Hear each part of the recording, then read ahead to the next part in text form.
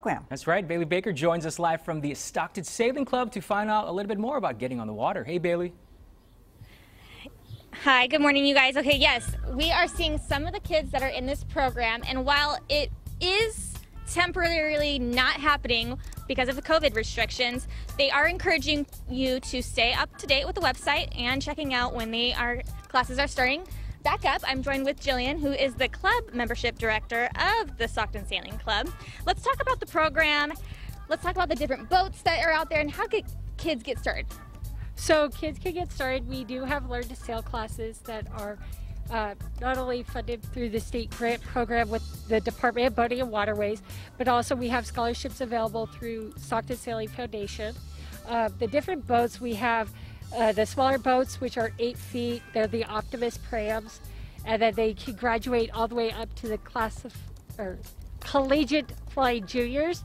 Uh, so we're going to have the high schoolers and older kids, as you see them on the rocks, uh, they're trying to demonstrate just boating safety, how to get off the rocks. Yeah, because you boating safety is obviously like the most important thing when you're teaching young sailors to get started. What are some of the demonstrations that they're going to be showing off? So the girls right now in boat number 28 are going to show a capsize drill. This happens when a lot of wind pushes the boat over. This is a if they could actually get it over. Sorry. Um, this is a safety drill that all of our kids learn from the smaller boats to the bigger boats because even though it doesn't happen often, you want to make sure that the people and the boat are safe. Yeah. Um, so they know how to do this technique very well. They've had years of practice, obviously.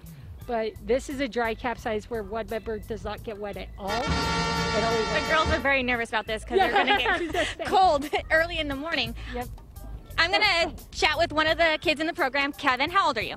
12. 12. And what's your favorite part about sailing? My favorite part about sailing is not getting wet, but still being in the water. Not getting wet and still getting into the water.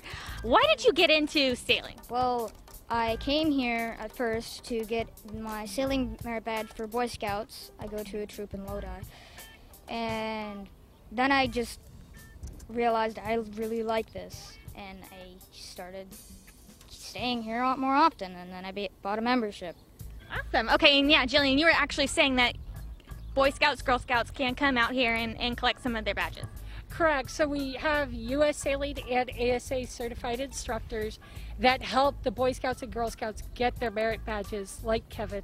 Um, it's just a little harder right now with COVID and everything, but we are open to having smaller groups, you know, that we can print on boats and have social distancing and get them their badges as needed. And something that parents or kids may not know is that sailing can take you all the way to college and there's potential scholarships.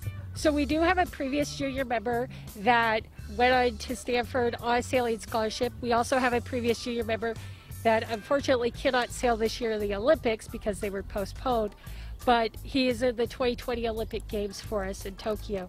Uh, very exciting news, and we have them going all around the world. We have members in Thailand even. That's amazing. Okay, so tell the viewers at home how can they check it out or learn more information.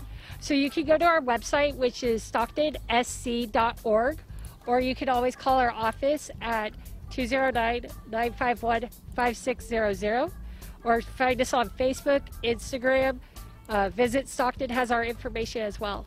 Okay, yeah. So I'm going to um, wrap up here, but it's been an amazing experience and it's beautiful out here. And if you are looking for something to do outdoors while we are still in the restrictions, check out the Stockton Sailing Club. Back to you guys. All right. Thanks, All right, Bales. Bailee.